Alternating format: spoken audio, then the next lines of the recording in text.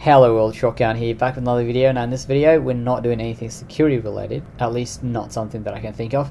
As you've already seen in the video title, in this video, we're looking into NeoFetch. Now, what's a NeoFetch?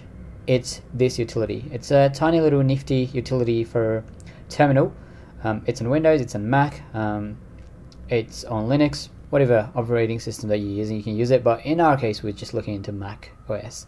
Now, it does have a bit of a love and hate relationship in the industry because um, some people manually type to do uname minus a to look into all the details or you know ifconfig to look into IP address. But the only reason that I like them is because it's handy. Now every time I launch the terminal up it's there. I don't have to manually do any of these things. If someone asks me hey dude what are your specs? and I go oh hold on. Let me put in like 15 different commands to find out um, so it sort of gives you everything in one place. Um, right, right when I start the terminal. Sorry, I keep on restarting the terminal, but yeah. Um, now I like the fact there's heaps of things that you can include here. Um, I've removed some of them. I've added some of them. Um, it tells you about operating system, uh, what kernel you're running, packages, shell, um, battery, um, IP address. That's the most important one for me because I've got a memory of a goldfish. I can't really remember. Now when I'm doing a capture the flag and I go, huh, hold on, what was my IP address again? Uh, in order to ping it or ping it back to the machine. But yeah, it sort of helps. Now in this video, we are going to install NeoFetch in our Mac computer. Uh, just before I do that, just a bit of a self promo. So I'm selling a sticker and t-shirts on Redbubble. Um, it's all security related, you know, funny thing, like a humorous network and security related sticker. Now if you go to um, redbubble.com. Um, I'll put a link down there in a W, but yeah. So if you go to Redbubble and just go to Network and Security, I've got um, a couple of stickers in case of emergency. Now, one of my favorites is one of these one that says "In case of emergency, drill here." Um, now I have it on my laptop right on top of my hard drive, and it sort of, you know, it's it's a funny haha sort of joke. But yeah, um, there heaps of stickers if you wanna give it a go. It's not that expensive. Um, pretty cheap. Um, it's like it starts from three dollars. Um, but yeah, so if you if you're keen, um, you can uh, support me out. Right now that's sorted out of the way. Let's get started. Uh, now in order to install the NeoFetch, all you have to do is brew install NeoFetch. Now if you get error on this one, that means you don't have a homebrew installed on your computer.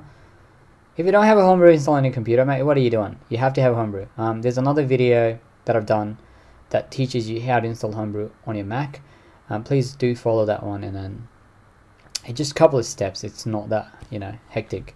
So um, just do install homebrew and then when you're done, just come back to this video and you can continue watching. And that's it's easy as that. Now if I exit it, um, it's already installed. I don't even need to exit it. Um, if I go, if I do neo fetch, uh, there you go, it's already there. Now there's heaps of things that I don't really need, but yeah, um, I'll teach you how to get rid of some of these things, how to add something, how to get rid of it, and all the all the basic stuff. Now in order to customize all these settings, all you have to do is find a NeoFetch file and just edit it. Um, so all the configuration that these things are coming from is located under config file. So it's going to be so what you have to do is just do sudo nano or vim, whatever you like. Um, so we go to .config folder, and we go to neofetch, and we do .c, hit the tab button, and there you go, config.conf. Um, your credential, and there it is. So you've got all these things. Now if you see a pound sign, um, or a hash sign, in front of the keyword, that means it won't be shown in a terminal. Uh, sorry. Now if I do, um, let me show you what I mean. So let's go to new window. Just do neo fetch. Uh, not neo fetch, neo fetch. There you go. Um, so as you can see, um, so these are all the things that are um, that are just by themselves, not with their sign. Now if you have this sign, it won't show up here. There's no D, um, there's no VM theme, there's no themes. Now if I want to make sure something comes in here, I'll just have to go here. Uh, don't want to do don't want to do XP. So if I remove the font, let's say font, and I'll just write it out by doing Control O, Enter, Control X, and if I do NeoFetch again, oh, I gotta start the new, gotta start the new window. Sorry, my bad. And I'll do neo fetch, and you can see font should be somewhere down here. Wait, did I do the font? Okay, never mind. Um, I don't know what I did, but yeah, let's just let's just get rid of the uh, the pound sign in front of the GPU driver. Write it out. Enter. Get out of there. Um, start a new NeoFetch, new window, and we'll do NeoFetch and see if there's a GPU driver. There you go. There's a GPU driver. Now, if I have to if I have to hide it, all I have to do is just add a hash sign. Um, where do you go? Now, by the way, it's it's commenting. That's what you call it. But yeah, uh, where do you go? Where'd you come from? Where'd you go? Where'd you come from? Control O. There you go. So that's a GPU driver. It's commented now. Enter Control X to get out of there. Now if I start it again, do the same routine. I do neo fetch, can see it is gone. That's it. Now Every time I have to go in there, I have to type neofetch. What if I want to open it up when I open the terminal up? Now, in order to do that, you have to edit your the shell files uh, or profile. Right, it all depends on what terminal you have. Um, now, if you have a bash shell, then, then you are going to have to change .bash rc file. Now, if you are on Z shell like me, um, and if you have a ZSHRC, then you'll have to edit the ZSHRC file. Now for me, it's going to be sudo nano.zshrc, but for you guys, it might be .bashrc. That's a bash rc file. Now you can type in here, even if it's empty, if it's not empty, doesn't matter. Just add a line at the end. Uh, for me, it's going to be .zshrc. So I'm going to just write it over here. I'll go all the way to the end, and I'll just do neo fetch, and that's it. Just type neo fetch write it out by doing Control O, Enter, Control X to get out of the system, clear, exit the terminal, start it again, and it didn't work.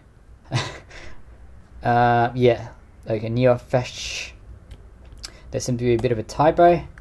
Um, okay, let's just change this one to neo fetch. Hopefully that'll fix the thing. Write it out, clear, exit, start it again, and bam, there you go, wham, bam, thank you ma'am. Now, what if you want to change this thing? Uh, what if you don't want Apple? What if you want something else? Instead of ASCII images that you can change it to. But yeah, um, I'll, I'll put a link in the description section below um, so you can go to GitHub page and then change it. Um, but I'm going to show you quickly how I can change this one to, I don't know, maybe Windows or Linux.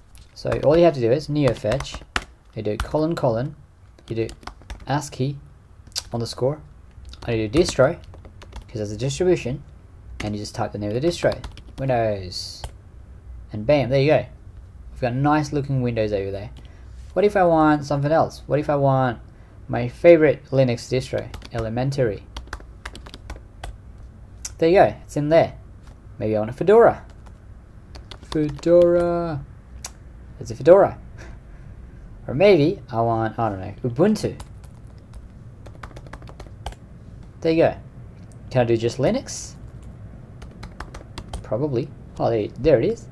You get the idea, right? Yeah. So that's what you can do with this one. Now, if you want this to change all the time, now instead of um, just writing neofetch, you can just copy this, uh, the ASCII distro, whatever, and then just change the file that you edited before. So sudo nano, for me it's a ZSHRC, it could be bash rc, bash profile, I don't know.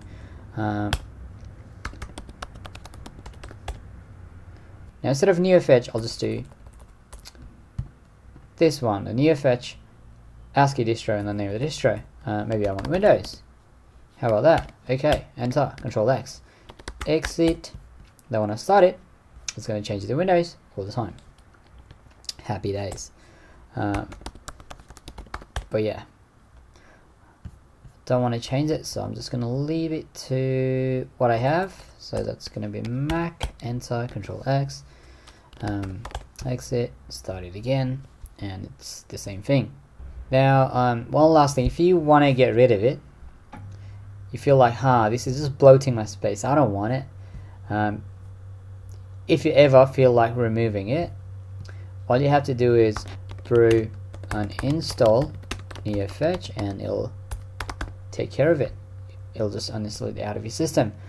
Now that's how you install and use NeoFetch on your computer. Uh, people often use it to send a screenshot when they have to share the you know specs of the computer. But I just like it um, in there every time I start a terminal it looks good. If you guys like it you can install it as well. And I hope you guys enjoyed the video. Thank you guys so much for watching. Now if you like the video give me a thumbs up. Subscribe to my channel for more videos. I usually do Mac and security related videos. And I'll see you guys in another video. Um, stay safe and happy pen testing.